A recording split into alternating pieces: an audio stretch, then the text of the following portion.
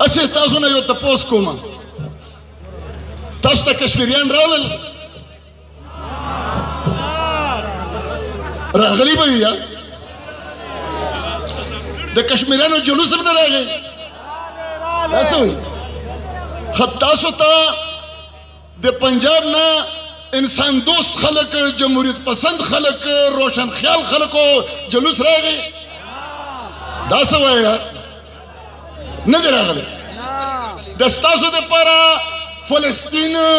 چېرته بیان او جلوس خو به کړی که نه دا نه کړی نو تاسو چې خپل ځان هر کړی وو ا د روحانګیا د پاره چې راوتلې وي هغه خو بس کړی کنه هغه یې نه کړی نو تاسو خو خدا زه د نن نه دا اعلان کوم چې سو پر ژوند یم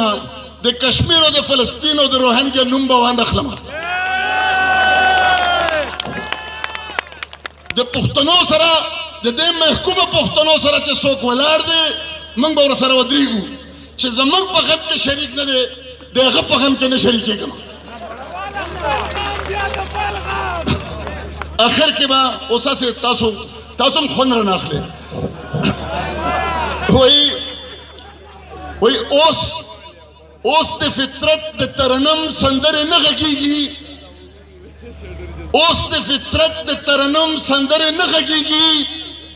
اوس مې د غرونو په باڼو کې مرغې سوي دي نور به د یاره د نظر لامبو ته ځان نه نیسم بېګا یې ماله د خیالونو خپېرې سوي دي ته که راځې نو ګورې اوس زه په تمبو کې اوسم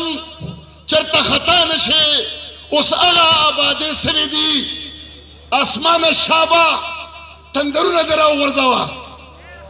اسمان شابه تندرونه درا ورځوا